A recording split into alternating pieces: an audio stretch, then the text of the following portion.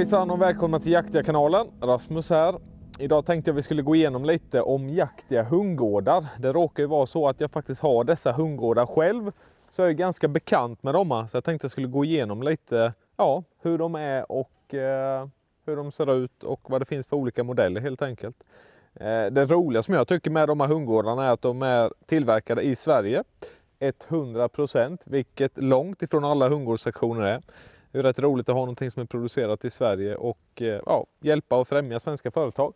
Eh, så de är alltså svetsade i Sverige och galvaniserade i Sverige. Alla sektioner är varmgalvaniserade vilket då gör att de håller mycket bättre för eh, ja, väta och vind och allt, all yttre påverkan kan man väl säga. De finns ju både i helsektioner och halvsektioner. Eh, jag tänker vi börjar här ute, ska vi gå in i mitt hundhus sen så kan ni få titta lite så ser ni de olika modellerna. Men, men detta är i alla fall, här ute är bara helsektioner och ser ut som dessa då. Eh, dörrarna, en ganska smart grej, hej Pika, eh, är att det är ganska hög tröskel på dem. Detta är ju bra om du bor uppe i Norrland där det är mycket snö så att du inte har att dörrarna fastnar i snön när du öppnar dem. Men även när man ska ta ut dem eh, ur eh, hundgården.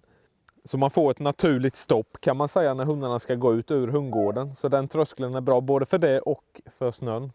Eh, I övrigt då kan man väl säga att det viktigaste när man gör hundgården är väl egentligen grunden. Eh, här har jag valt att lägga trä då i botten, om man säger som syll, som jag sätter fast hundgårdarna i. Eh, men eh, grunden är väldigt viktig. Vad man har i hundgårdarna är väl egentligen en smaksak. Jag kör singel för jag vill ha något som dränerar. Eh, en del eh, lägger plattor, eller det går att lägga plattor och det går även att ha gjutet. Men man ska ju komma ihåg då att det medför en ganska stark doft av urinen och annat som kommer ut ur hundarna.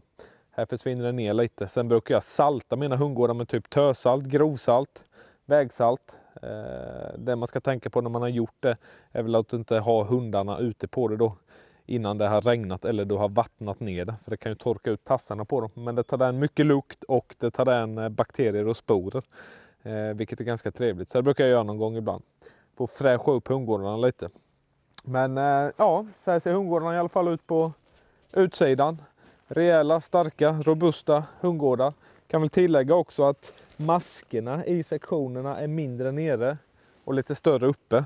Eh, anledningen till att de är lite större här uppe är för att de inte ska eh, ha lika lätt att fastna om du har en hund som hoppar mycket på sektionerna. Att de inte ska kunna fastna med tassarna här uppe. Eh, så det är faktiskt ganska smart. Men nej, rejäla, fina hundgårdar.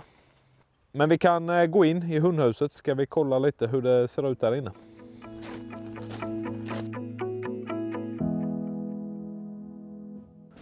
Ja, då har vi då tagit oss in eh, på insidan här på mitt hundhus. Eh, och här kan man se lite det vi pratade om innan då. Eh, man, det finns helsektioner och halvsektioner.